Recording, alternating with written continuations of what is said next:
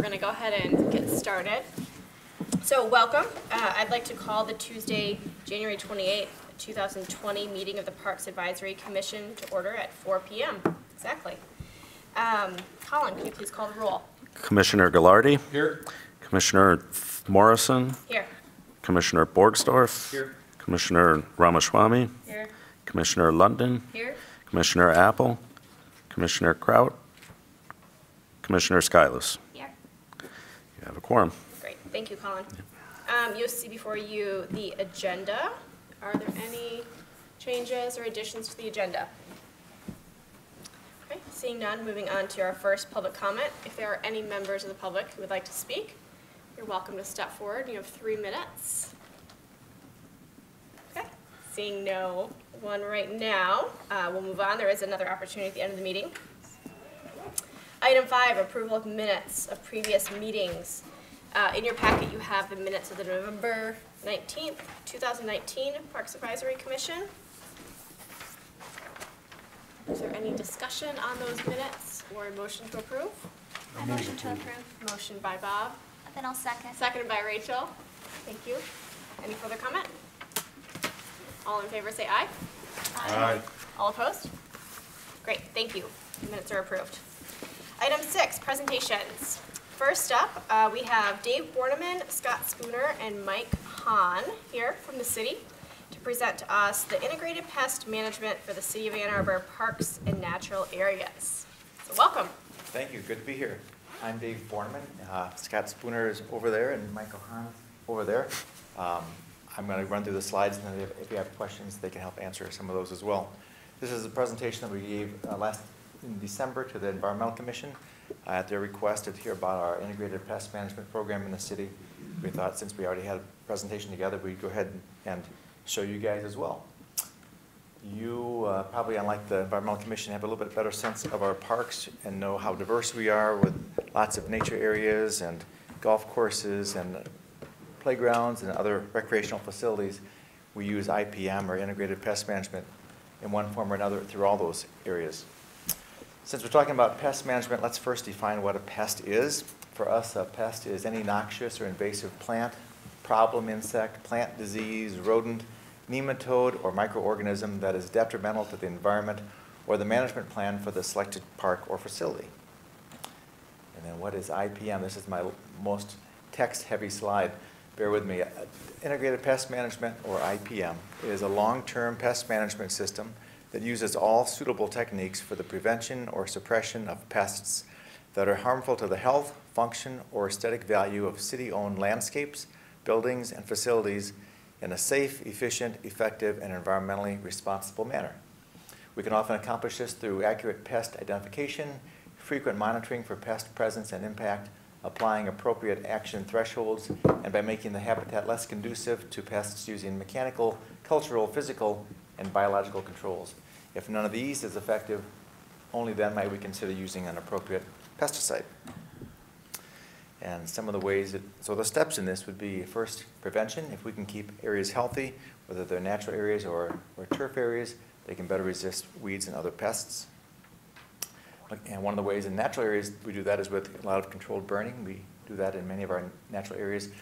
Mechanical burn, or controlled burnings also could be considered a mechanical control, as is mowing, cutting, hand pulling, and aerating turf. There are cultural controls we can turn to, selecting native species that are well suited to the environment here, attracting beneficial insects that can help keep pests away, using proper irrigation techniques for turf, and monitoring the weather to make sure that we're avoiding overwater watering.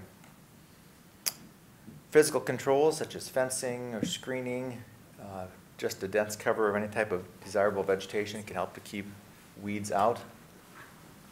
Biological controls, you may be familiar with the Galerucella beetles that were brought in to control purple loosestrife years ago, uh, or BT, which is used to control gypsy moths, so those are all biological controls. We've also looked at other innovative solutions. Uh, you may have heard about our goatscaping project at Gallup Park this summer, uh, where they were put on several, several of the islands there to clear some of the brush. We've done some experimenting with a vinegar, salt, soap spray using a combination of those ingredients to try to kill some weeds. Uh, we've been using buckthorn baggies plastic bags that you can cut, put over a cut stump and, um, to keep them from resprouting. They work pretty well, and in someone's backyard, it can be a really good alternative. A little harder when we're dealing with a thousand acres of natural areas in the parks, but it's, could be a good, a good alternative in small, on small properties. If none of those work, then we start considering if there are any chemical control options that might work. No matter which one of those we use, we always, uh, evaluation is an important part of that to make sure that we're going back and monitoring the situation to see if we're getting the results that we were expecting and hoping for. The golf courses use IPM as well. They have their own challenges um, that we may not have in the natural areas.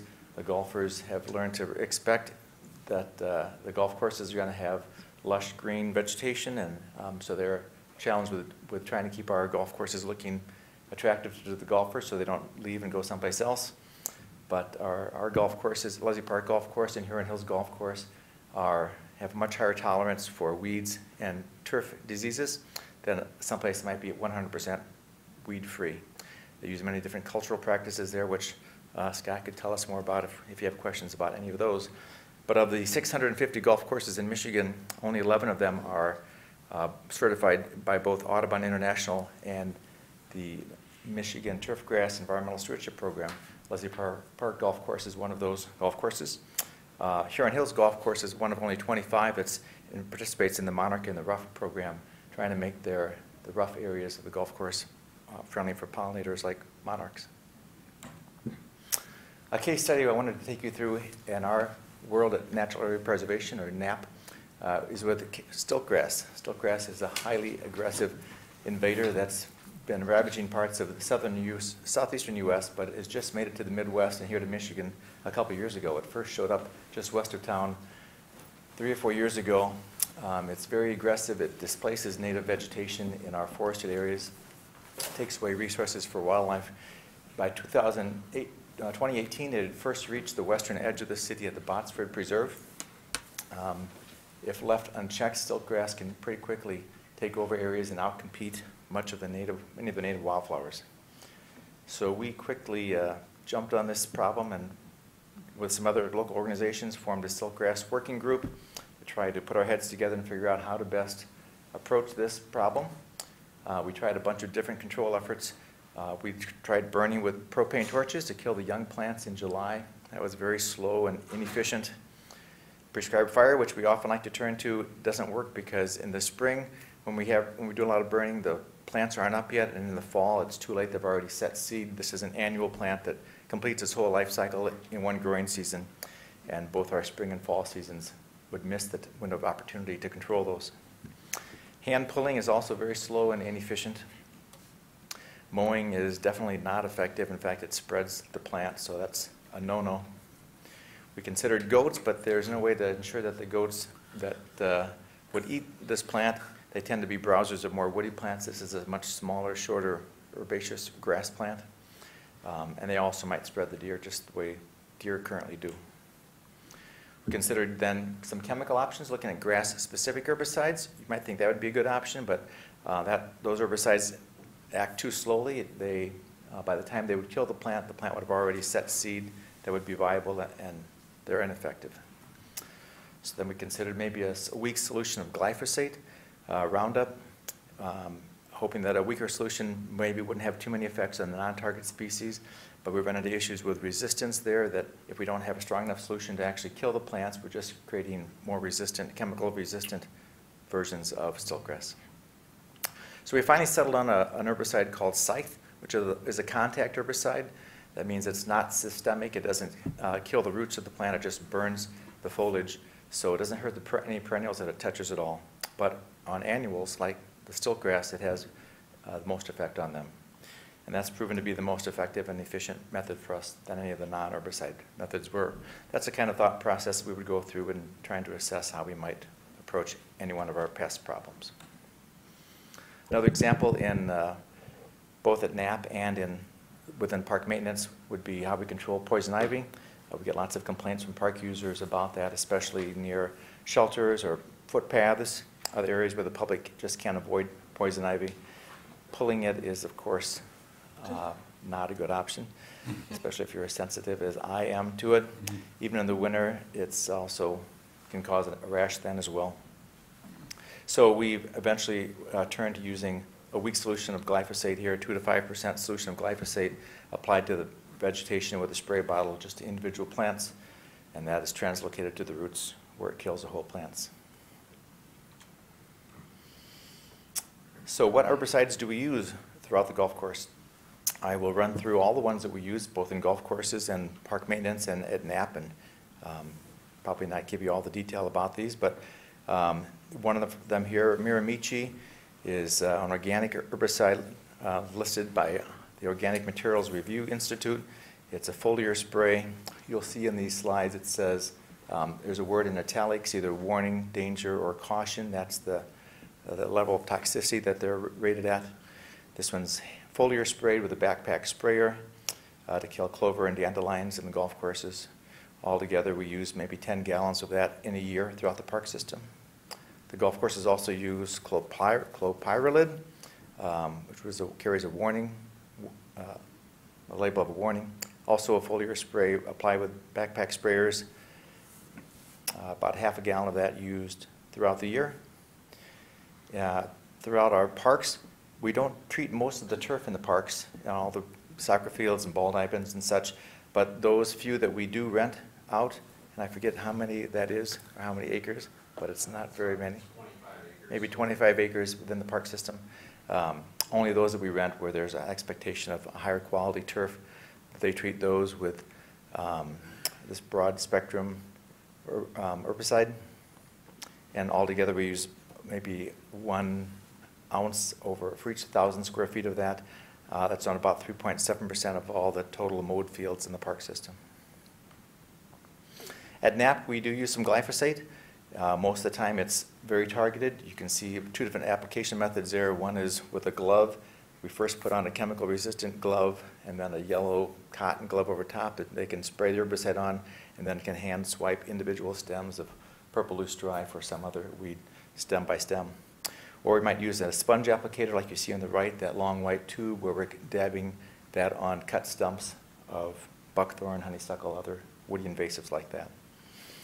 Altogether, between park and, uh, park maintenance and NAP, we use maybe seven gallons of glyphosate, um, the concentrate across the park system every year.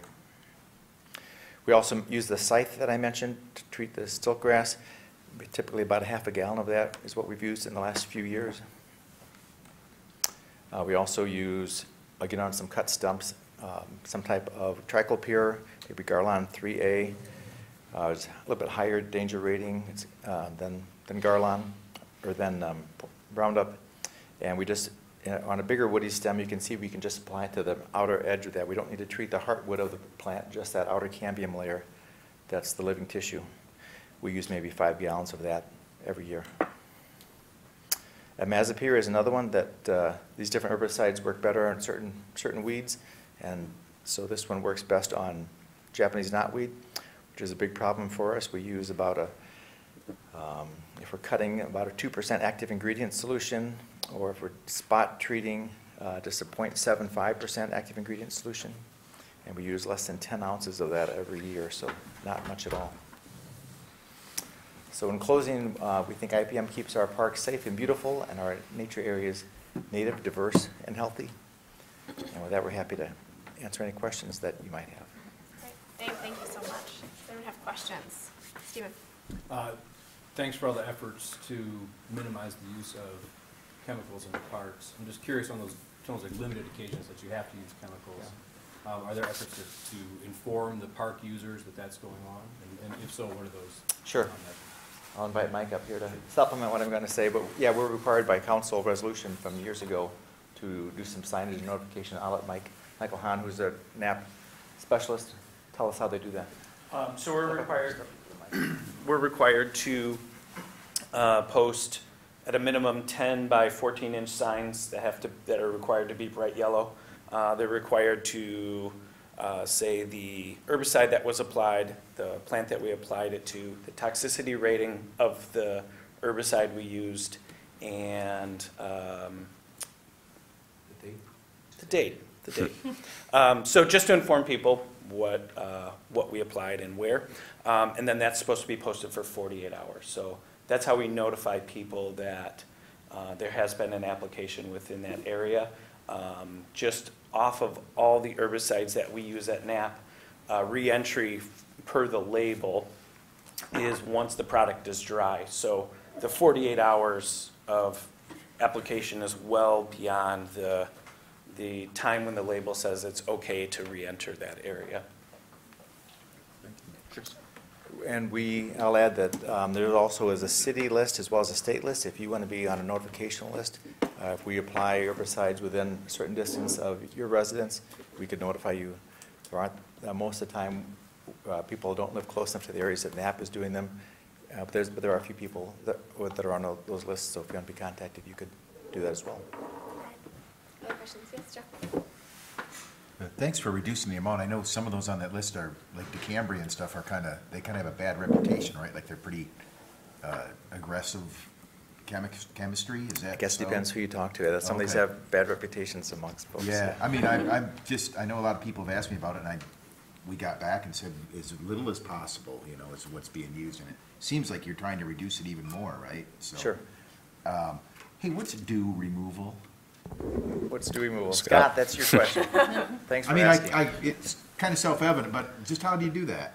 Um, so the dew removal, um, there's a specific fungal disease on grass called dollar spot. Um, and it needs, uh, specific things, and especially high humidity and, and a lot of water dew on, on the grass. And it needs it for a certain amount of time, um, twelve to fourteen hours, I believe. So you get that in the summer, you get the dew starting at night and it just sits there all night and then late into the morning, there's still dew there. So at the golf course, what we'll do is, um, we would take around a couple of golf carts and drag a rope around and it would knock the dew off of the grass plant.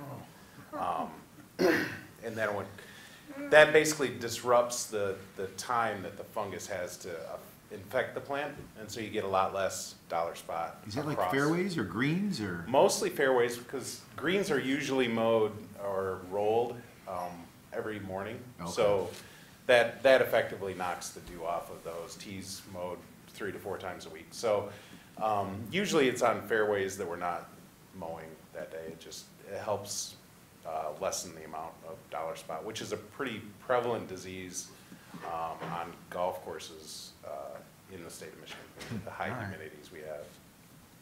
Thanks. Yeah, no problem. It's interesting.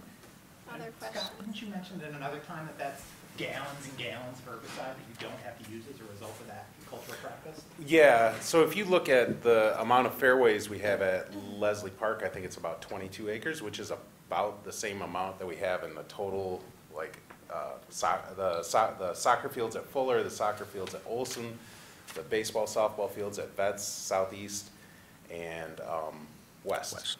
So, just on the one golf course, we've got the same amount of area as all of those spots, um, that we're not, really not treating, uh, with fungicide at all. That, um, other golf courses in the state are, are doing that, so. One more thing, if I Sure, could. So, you know, I'm always sad for the clover and the dandelions, but that's because sort of like it's part of the game, like you can't be losing your ball and all the tufts, and then, then, then once those take, once those come in, like the gra- turf grass effectively is driven out, right? You can't maintain that spot anymore, or wh- what, what is it with the, you know? I Well, can- it- So there's kind of a level of expectation for the player at the golf course. When you hit the ball, if it goes in the fairway, there's an expectation that you're going to get kind of a good lie, Like like a fair lie. right? Right, exactly. If you don't hit it in the fairway and you hit it in the rough, you're going to find clover, you're going to find the dandelions. At Leslie Park, there's a lot of other courses. If you go to a country club, you won't see them there. But um, that's, I think, the way that we try to uh, balance the need between the golfer and the environment there.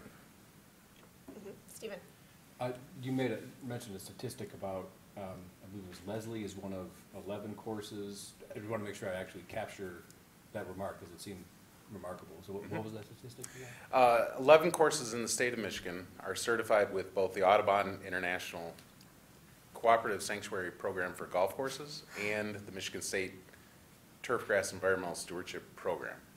And that's They're two separate programs that um, are kind of meant to be uh, environmental uh, well, stewardship programs, yeah. Right. Um, And the Audubon is a worldwide program. The Michigan one is obviously for the state. Um, But yeah, there are only 11 courses that are certified in both, and Leslie is one. And then What's the total population of golf courses again? Six hundred? 650 around, it used to be around, about Yep. 800, but it's really fallen off. Um, Dave mentioned the Monarchs in the Rough. Um, He mentioned Huron Hills, but I believe Leslie Park is also a member of Yep. that. So there are 25 courses in Michigan that are in, part of that program, and two of them are ours. Cool, thank you. Great. Pravina? Um, Thank you very much. I actually, um, I I do marketing, so I was thinking, I would love for those stats for the, for the golf course and then the work that you're doing to reduce chemicals uh, in our parks to be somehow in our social media or try to promote that to let our Yeah, I think we're ta- community know about it. Yeah, we're talking about ways that we can better do that, and I meant to mention the story that uh, Victor, who is not here tonight, tells the story of being at Huron Hills and having some of the golfers come in, and- and we're getting calls from other golf courses who, whose uh, players had come and played at Huron Hills and then gone to their golf courses, and we're asking them, why weren't they in the Monarchs and the Rough program? So he's getting, we're getting, we're getting word out to people that way as well. But yeah, I think we're looking for ways that we can better market this and um, make this information available to other golf courses, but the public as well, if they have questions about how they can use IPM at their own, on their own residence. Great. Um, I know you made this similar presentation to the Environmental Commission. Yes. And I believe there's a resolution they passed on that. So I was wondering if, Mike, you could share some of the thoughts from the Environmental Commission? Uh, Or what the intent of the resolution was, perhaps? Um, the intent of the resolution is a little bit foggy. Um, it seems like uh, the petitioners that brought the resolution forward were uh, upset about the use of lawn chemicals on private property. Um, so yeah, there was a lot of back and forth at the Environmental Commission meeting about what exactly this resolution was uh, supposed to entail, and it still seemed to be a little bit murky to me um, by the time that resolution came out. Uh, It seemed like there is a lot of opportunity to be able to promote uh, lower chemical use on lawns. Um, I'm not sure that this resolution necessarily captured uh, how what we do in this town could uh, promote leadership. Um, There are also, as we, as we talked about this in various committees, there are also very few levers that we have at the local level to be able to stop people from using herbicides, pesticides on their private properties. Um, So what ended up coming up out of this was uh, basically a way for uh, parks to be able to continue to promote the IPM approach that they've already done a lot of work on to the public. Um, And that was, that was really the, uh, that was sort of the the bare bones that came out of that. Um, And my question to all of you was uh, how that was going to be funded as well. Um, Because one of the questions that came up, uh, you know, the, uh, the line that we usually see when we uh, explore these resolutions that says, what is the funding impact? Just said minimal. Um, So it'd be really interesting for us to know, and I'm sure for council to know exactly where that minimal level of funding was coming from, whether it was coming out of the NAP millage, whether it was coming out of the Parks General Fund budget, um, because there are some good opportunities for outreach here. Um, I personally recused myself from uh, the uh, legislation because I'm in the lawn reduction business myself. So I didn't really see it as appropriate for me to vote on uh, ordinance that promoted lawn reduction, even though that was written in the actual ordinance. So uh, I think this, uh, for those of you that are on council, there are plenty of opportunities for improvement as this one moves forward.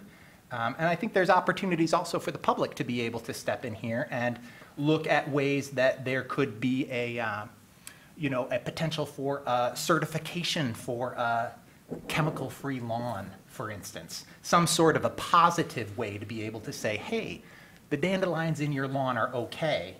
Um, the way that this resolution sort of came about was more, uh, hey, your really green lawn is, you know, not okay, as opposed to uh, the inverse. So that is a little bit of a long answer, but uh, it, it sort of gives you the full spirit of the uh, rather uh, rowdy uh, environmental commission meeting and discussion that happened.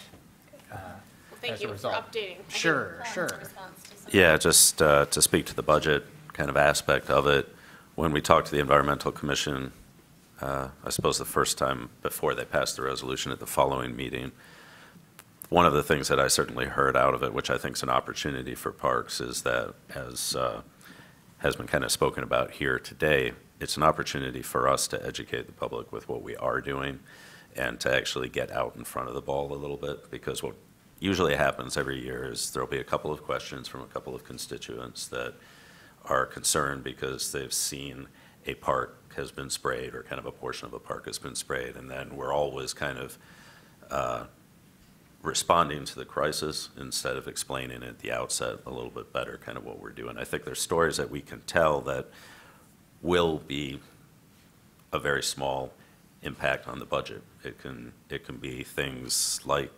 uh, social media awareness when we do um, events to just even having the information in a uh, format that we can share with people through email and otherwise. It's all information that we have and that because of the Environmental Commission and the questions they've asked, we've kind of begun to collate it and we have it in a way that I think is more kind of accessible to the public than it was before, so. Yes, Jeff? Well, we get asked straight up, can you ban the use of these things in the city? And of course we can't. But, you know, we did the thing with the coal tar with the driveway sealing because those people have to be licensed, right? By the city to, to be an applicator of that product. So it was easy for us in that case to put a restriction on the type of chemistry that they were allowed to use, uh, you know, for the, the river's purposes. Uh, it's unfortunate that we can't kind of do the same for the, the private homeowner. I'm sure that our insect population would be much better off if we could. Um, but I see hundreds of gallons of that stuff flying out of the hardware stores, and it's really disappointing. Uh, Hopefully, we can get some education around it. So I have a question, I think maybe for Dave um, and your team. How do you find out about new invasives coming to the area? Thinking about the stilt grass as the example. Yeah. Is it your team walking the natural areas, or is it reports from citizens, or how does that, how do you find out about Yeah. new invasives that you need to It's a pay attention to? combination thereof, you know, there's, we're out all the time working in the park, so we are always keeping an eye out for things. Um, We don't have that many new ones that show up very often, you know, we're, most of the time we're dealing with the, the usual suspects, buckthorn, honeysuckle, uh, garlic mustard, and spotted knapweed, and some of those things. So I think this one actually we first heard about because it, it first landed a couple miles west of town. We heard about it from some private citizens who were, who were aware of it and uh, brought it to our attention. We actually went out and to see what it was and get some firsthand experience, or knowledge of what it was, so we could learn to spot it in the field. Um, And then they happened to be the ones who were out in one of our parks and found it for us. So combination of- of the public finding it and us seeing it ourselves out there. Yeah. How's the, how's the uh, Japanese knotweed situation? How's the knotweed situation, Mike? We're making progress on it. Um, Yeah, a lot I of know these- Cloverdale has a bunch, and Yeah, for a lot of these things, you know, we, like with stiltgrass, I'll just make a comment here, then I'll let Mike talk. We've, we caught stiltgrass right away, and we thought, oh, maybe we can eradicate this, and pretty quickly, once we started inventorying it, realized we, we can't eradicate it, now it's just a matter of, of containing it. And I think with many of these things, it's a matter of picking the highest quality areas and making sure that we get it out of there and keep it from spreading to other spots. That's our general answer. Mike, how's, how's the knotweed looking? Generally, that's how we approach, our approach is. Uh, for knotweed, it's something that when we find it within a park or within a natural area, we try and dress it relatively quickly. Um, just so, because knotweed is pretty aggressive, um, tends to stick around for a long time. Um, so we do like to get on top of it as quickly as we can. Um, I would say overall of the known populations, they're pretty small, um, and pretty, uh, I, pretty well under control. Um, At least we're addressing them as much as we can. I, of the, since the five years I've been here, I've had one population disappear. We're just waiting for it to come back, but. Any other questions? Great, well, thank you all for coming. You're welcome, thank you. Yeah. Moving on to item seven, reports. Report from the Parks and Recreation Manager. Colin. So the report is attached to your packet, um, but there's just a couple things I'll highlight for today. Um, Outdoor ice rinks are still a non-starter, as you might imagine. We have a little cold weather and then a lot of weather above 30, above the freezing point, and it really takes a while to set them up. We continue to monitor it, but it's not looking very good for this particular season at the moment. Um, then, speaking about that, we're uh, starting to already, um, we're starting to get into spring hiring and thinking about the jobs that we need to post and updating things there. So is uh, surprisingly coming up quickly, it feels like. Um, I would say for the winter, the park operations staff, because we haven't had a whole lot of snow, they've been able to spend some more time working at the recreation facilities, doing repairs and updates there. So that is, is good. Um, We are in kind of the final stretch towards hiring the landscape architect. You guys will remember that as a part of the budget for this year, we added one in there. Um, I think we had some really good candidates, good interviews, and we're just waiting uh, for, I guess, the last steps for the background check. We should have somebody on pretty soon, and we're excited about adding that person to the team. Um, That's it. Great, thank you. Any questions for Colin? All right. Item seven B, report from Recreation Advisory Commission. Ruth? At the last meeting, the, um, the big news was that the bond passed. And, um, there will be some subcommittees put together that will be looking at, uh, different things, including, uh, work on the new environmental ed center that's gonna be on the far eastern side of, uh, the school's work goal, like the Wind Montessori was. Forget, I'm forgetting the name of the school. For the Freeman School, thank you. Yeah, I know, what goes around comes around, right? So, um, so that was one thing. Um, both summer camp and, uh, after-school programming is up at at recreation right now, and that's about it. Great. Any questions for Ruth?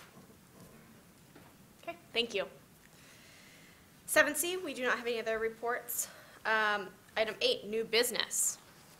Our first resolution is a resolution to recommend approval of a contract with Stantec Consulting Michigan, Inc. to provide lighting design services for the Ann Arbor Skate Park in the amount of thirty-eight thousand nine hundred and thirteen dollars. And Hillary is here to tell us more. Yeah, hi everyone. Um, so the skate park is a very popular and well-used year-round park amenity. Um, the Skate Park Advisory Commission has recommended that lighting be added to the skate park in order ex- to extend its use into the evening, um, in order to allow skateboarding to safely occur year-round um, during regular park hours. So regular park hours, 6 a.m. to 10 p.m. Nearby adjacent ball fields are lit, so just kind of extending that to the skate park. Um, For this contract, funding's available in the park's millage. The Friends of the Ann Arbor Skate Park have also started to raise funds to contribute to the installation of the park lighting. Um, As mentioned in the memo, we also have funding available in the park's millage through the um, Parks Equity and Fairness Resolution. Um, We also intend to apply for a grant um, to help fund the installation. So again, this contract's just covering the design at this standpoint, and then we'll be moving forward with installation after that occurs. Um, skate parks can be very challenging to light properly. There's a lot of curved surfaces. It's a fast, multi-directional sport. So for us, it was really important to find a consultant that had experience working on skate parks specifically. Um, we're also interested in having a consultant look at sustainable lighting practices, so conserving energy, uh, minimizing light pollution, complying with the Dark Skies Initiative, and also um, exploring renewable energy sources as a possible power option. So in December, the city received five proposals um, in response to requests for proposals. A selection team consisting of city park staff and skate park advisory commission members reviewed those. We ranked and determined which firms were most qualified to perform the needed services. And then fee proposals were um, open for the two top highest scoring uh, firms. And so based on the fee proposals, um, park staff and the Skate Park Advisory Commission determined that Stantec was the best firm, um, best suited to work on this project. So um, please let me know if you have any questions. We have a member of Skate Park Advisory um, Commission with us as well, so. Great, thanks Hillary. Stephen, question? Just want to be clear, what we're coming out with will be, I guess, community, some community engagement to figure out exactly what the design might look like, and then the actual design that we can then take for construction bids, is that? the Correct, yeah, deliverable here? yep. It- So it'll be coming up with a concept design, moving that through the construction document process, and then this firm will also help us with overseeing construction to make sure it's all done according to the plans and specifications. I guess One more question. Yeah. I- I guess, how, what was, how big was the delta between Stantec and whoever was second place? I mean, was it a clear winner, or was it kind of a close? Yeah, the, um, the second firm, um, again, they're ranked very closely um, when just reviewing the proposal. The second firm was about 50% higher um, than Stantec, and Stantec was willing to even work with us and negotiate down a little bit further, so, Thank yeah. Thanks, other questions? Yes. Uh, Just a comment, I'm excited to take this back to the Environmental Commission and say, hey, you know, there were sustainability and dark sky initiatives already included in this, so they will be very happy to hear that. Great, excellent. It's nice that that's becoming part of the city's culture. Mm-hmm. Very good, yes, Pravina. What is the timeline we are thinking for decision, implement, planning implementation? Yeah, that's a great question. Um, So I mentioned we are planning to apply for a grant to um, fund the installation. So we're trying to get a concept design completed before grant applications are due at the beginning of April. Um, Because the grant funding timeline takes about a year from um, when they're reviewed to when you find out if you get anything, installation wouldn't occur until a following year after that, in- in hopes of getting funding. Um, So design would occur this spring, and then installation would likely occur um, next summer. Mhm. Great. Other questions or comments? Is there a motion to approve? Motion by Pravina? Seconded by Mike? Okay. All in favor, say aye. Aye. All opposed? Great, the resolution passes. Thank you, Hillary. Item 8B, resolution to recommend approval of the Riverside Park parking lot land lease with the University of Michigan. And Josh is here to tell us more. Hello, how are you? Um, In front of you is a res- resolution to um, do the lease with University of Michigan for the Riverside um, Park parking lot. Um, It is 18 18 spots along Canal Street behind Kellogg Center, between Kellogg Center and Riverside Park. It is for the hours of Monday through Friday, 6 a.m. to 5 p.m., um, when the park is not regularly used. Um, All over evening and weekends, it is for city use. Um, This has been a lease that we've been utilizing for roughly 10-plus years, um, and it is back up for another go-around. So, um, any Questions? Questions or comments for Josh? Is there a motion to approve? Motion by Bob, I second. uh, seconded by Lauren. Okay, sorry, Rachel. I'll get you It's next. Seconded by Lauren. Any further discussion? Okay, All in favor, say aye. Aye. All opposed? Okay, great. Resolution passes. Thank you. Item nine, land acquisition matters. Uh, We will be moving into the council workroom to discuss LAC, and then we will return out here again afterwards. So um, if you happen to be here for a class or school, I'm happy to sign your um, form now so that you don't have to come back. Oh, okay, all right, okay.